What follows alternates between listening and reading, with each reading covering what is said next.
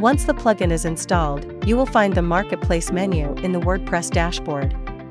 Click on the Daraz submenu. This is the account page of the plugin. Initially, this will be empty.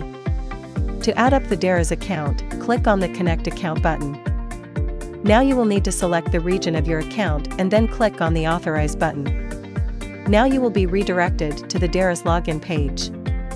Here you will need to enter the Daraz seller account details and click on the Authorize button. Now you will be again redirected to the account page of the plugin and will see your account has been added in the account page. Now, after clicking on the Configure button we will move forward with the flow of the plugin. This is the category mapping section.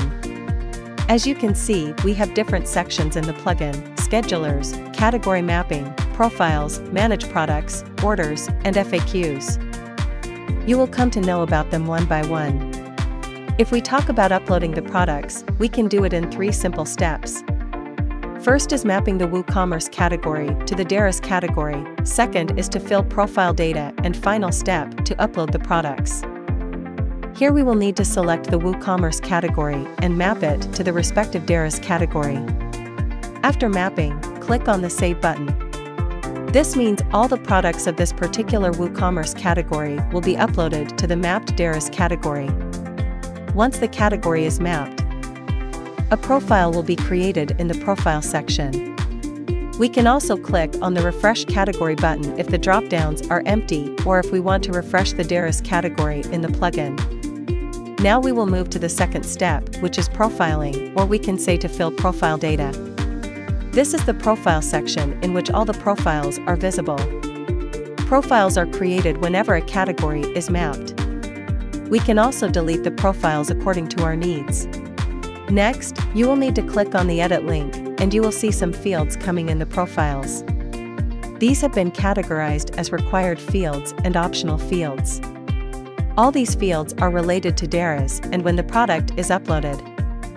The data will be prepared from these fields only. As you can see, some of the fields are already filled like SKU, regular price, stocks, etc. You will need to fill the rest of the fields by mapping meta keys and attributes. As you can see, there are two input boxes coming for every field.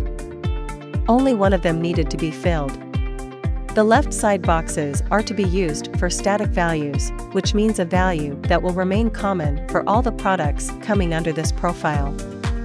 The right side boxes are all dropdowns and can only be filled using meta keys or attributes to manage the dynamic data from the product. Meta keys attributes.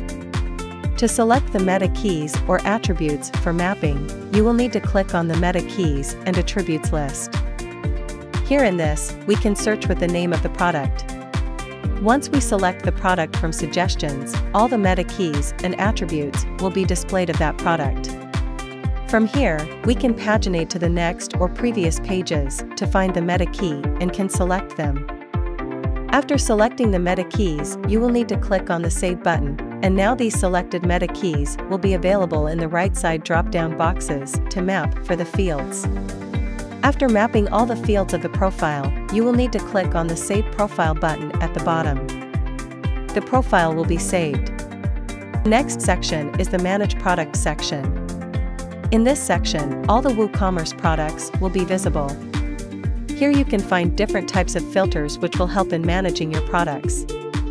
Also, a search button searches on the basis of the product title. From here, you can upload the products. To upload the products, you will need to select the product through the checkbox and then select the Upload Product option from the bulk actions and then click on Apply button. It will take some seconds to load, and then a message will appear of either success or fail. You can select multiple products at a time. Similar goes for updating the products and deleting the products. You can select the bulk action and process the products accordingly. This is the order section of the plugin. Here all the orders from Daraz will be rendered. You can see a fetch order button. Clicking on it will fetch the orders from Daraz into WooCommerce. The plugin divides the order in two parts synced orders and unsynced orders. Synced orders are those orders which are created in WooCommerce as an order and will be displayed in the default WooCommerce order section.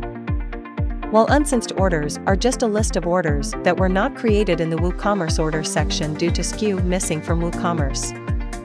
To get the order created properly in WooCommerce the SKUs present in order should also be present in WooCommerce product then only the synced orders will be created. From the plugin, we can also set the order as ready to ship or cancel. By clicking on respective links, we can manage the order accordingly. You can also print the airway bill and download it into your system. You can also see the synced order in the default order section of WooCommerce. To differentiate the Daraz order, there is a column order source, which will show a Daraz icon for every Daraz order. Now, we move on to the scheduler section. In this section, you can set the schedulers up.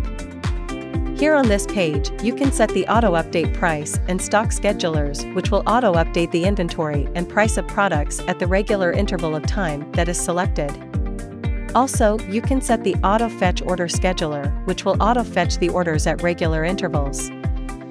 From this section, you can select which status of orders you want to fetch from Daraz into WooCommerce.